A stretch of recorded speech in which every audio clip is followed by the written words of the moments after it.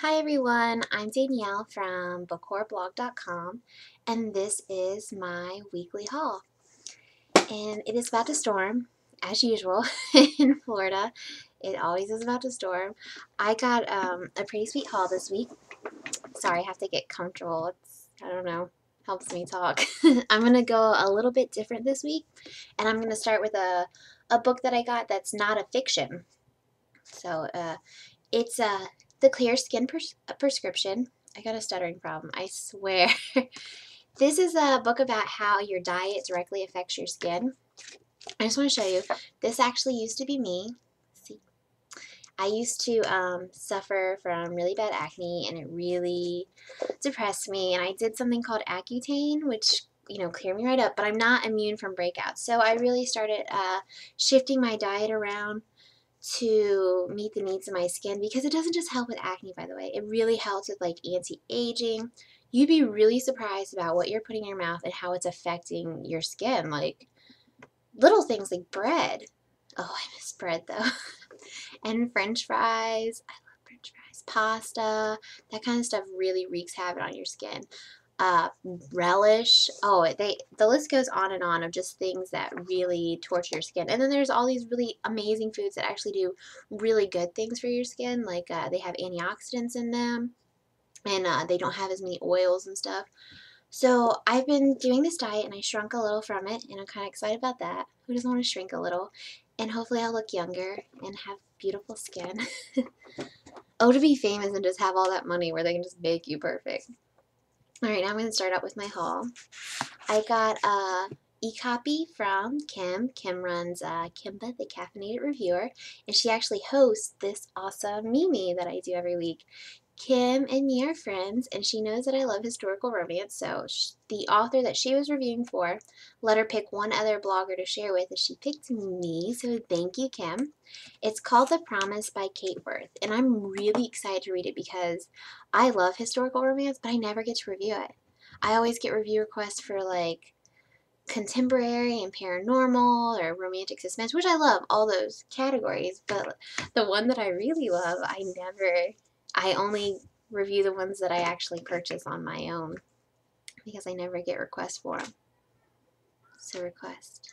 then I'm going to move on to my uh, bound books. The first book that I got, I saw the trailer for it.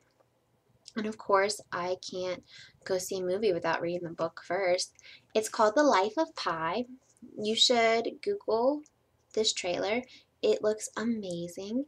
And uh, I'm going to read the book eventually. I've got a real problem. Also, so the next three books that I have, I was having a little bit of a downer week. And uh, so, what better way to make yourself feel better than to go splurge on books you absolutely don't need? Um, so, I, I snuck off to the used bookstore. And the first book that I got is Sophia Nash, The Art of Hunting a Duke, or The Art of Duke Hunting a stuttering problem. the Art of Duke Hunting. There we go. And this is the second book in a series. I have the first book. I have not read it yet. But I'm prepared. Now I have the second book. The next book that I have is How to Marry a Duke. I obviously have a thing for dukes. It's by Vicky Dreiling. And I'm really excited to read this one. I heard a lot of great things about it. And, you know, it's got a Duke in it. and the next book that I got is one that I've been looking for, and Barnes & Nobles did not have it, and I nearly told them that they were not awesome. So, but actually worked out because my used bookstore had it. It is A Lady Never Surrenders by Sabrina Jeffries, and this is the next book in the Hellions of Halstead Hall series. This is a series that I really am into and I really love. And um, man, it sucked me in so much that I, I just keep buying the books so that I, I don't have to go without them. Like, it, uh, it makes me crazy to think that we might have to go without them. So I'm going to move on to my haul. I mean, my blog. I'm having a day today. First thing on my blog, I had a review of Hereafter by Terri Bruce. And that was a really great book. It, um, actually, it only took me a few days to read. I really blew through it. I really enjoyed the story. And I think you should definitely check it out. It was a fun book. it's about ghosts. Like you can't go wrong with the afterlife and demons and other spooky things.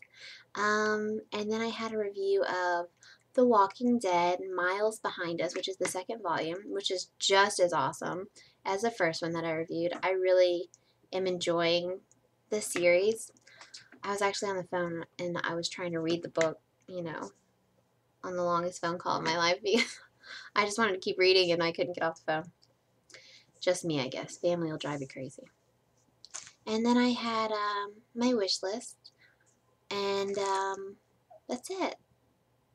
No, I had an author interview, Dangerous Love, by Lilu DuPont, which was a great interview. By the way, that's one of the best interviews I've ever done. It's one of those interviews that I walked away and I was like, I'm proud of this interview. It was really awesome. And there's a giveaway going on with that, so you should check it out. Enter the giveaway. And um, the book sounds really awesome. It's an erotic romance. I like that. It's um, the son of a Nazi and a Jewish girl, which is star-crossed lovers, and I love star-crossed lovers. You can't get wrong with that either. So that's it. And leave the links to yours. I have been going to everybody's haul, and I'll come by and, you know, add your books to my wish list.